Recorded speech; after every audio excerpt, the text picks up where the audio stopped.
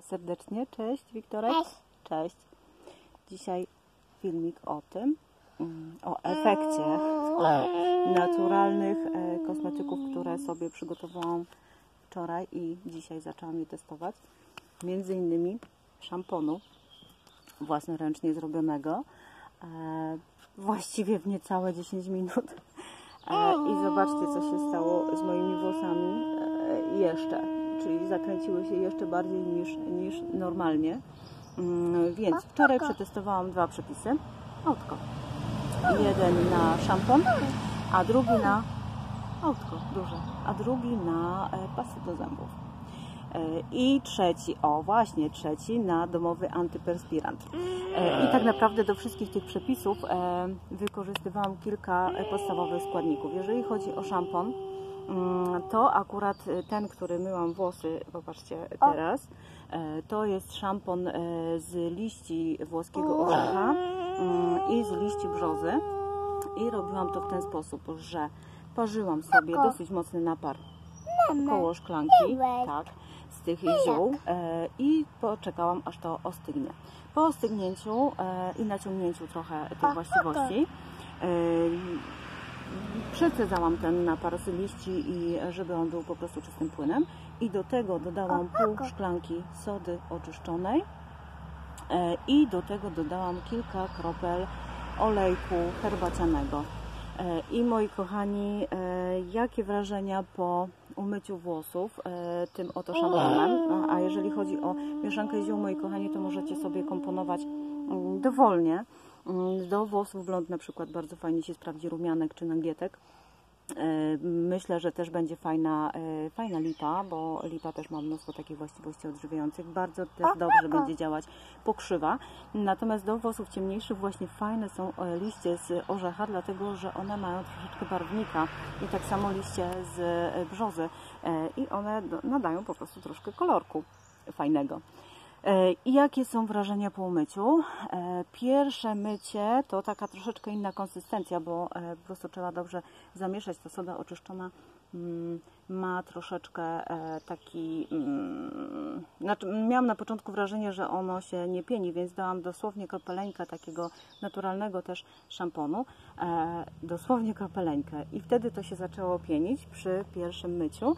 Natomiast drugie mycie użyłam już tylko tego szamponu tylko tego szamponu i e, już się to wszystko pięknie pieniło. E, a po wyschnięciu po prostu zrobiło się coś takiego na mojej głowie.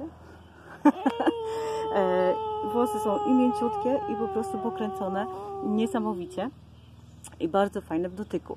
E, Jeżeli chodzi o pastę do zębów, to co wykorzystałam e, wczoraj, ale też te mieszanki jakby można komponować e, według e, Waszego uznania. E, Dałam łyżeczkę oleju kokosowego, łyżeczkę łyżeczkę sody oczyszczonej, e, dałam e, troszeczkę soku z cytryny i dałam e, też e, 3-4 kropelki olejku herbacianego. Mm, Efekt taki, że bardzo fajne uczucie świeżości mm, w buzi. A, jeszcze co dodałam? Trochę łyżeczkę też oleju z cytryny, który mam zrobiony też do tego dodałam. I bardzo fajne uczucie świeżości w jamie ustnej. E, Bardzo długo się utrzymywało. No i przede wszystkim macie gwarancję, że nie ma tam żadnego fluoru, żadnej chemii, e, żadnych konserwantów itd. Taką pastę możecie sobie robić nawet codziennie, po troszeczkę, żeby ona była zawsze świeża, bo robi się po prostu w kilka, kilka minut. e, Dosłownie, a nawet, nawet chyba nie trzeba kilku minut. No i kolejna rzecz, którą przetestowałam, tam jest motylek Wiktorku. E, To jest pasta do zębów e, i też wy- wykorzystałam podobne składniki. Do, e, nie pasta do zębów, przepraszam, tylko dezodorant. Antypers- antyperspirant, nie wiem czy to można nazwać, bo nie blokuje pocenia, ale blokuje ten zapach potu, więc nie, nie zamykacie sobie kanalików. E, Który, e, które powinny działać e, bez zarzutu i pocić powinniśmy się starać, dlatego że wtedy czyści się nam układ limfatyczny i o to trzeba dbać. Natomiast jeżeli chodzi o wszystkie chemiczne e, antyperspiranty, dezodoranty, e, one po prostu blokują i zamykają Wam te kanaliki, więc nasz organizm nie ma możliwości tak naprawdę się oczyścić, tak?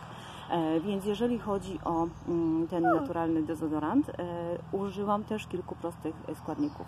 Dałam troszeczkę sody oczyszczonej, trochę oleju kokosowego, trochę wody utlenionej i też e, kilka kropelek mm, olejku herbacianego. Olejek możecie sobie dawać jaki tam macie ochotę, tak? Może to być eukaliptusowy, może to być lawendowy, może to być cytrynowy czy e, miętowy, jaki macie ochotę.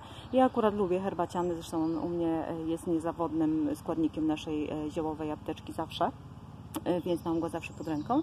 E, I też go dodałam, dodałam do tego dezodorantu. E, I moi kochani, e, O, no, potu nie czuć, tak Wam powiem. potu nie czuć, jest fajne Oko. samopoczucie. Mm, autko jechało, tak. I e, przede wszystkim e, uczucie takiej świeżości e, pod pachami. I nie czujecie zblokowania, nie czujecie takiego sztucznego zamykania Waszej skóry.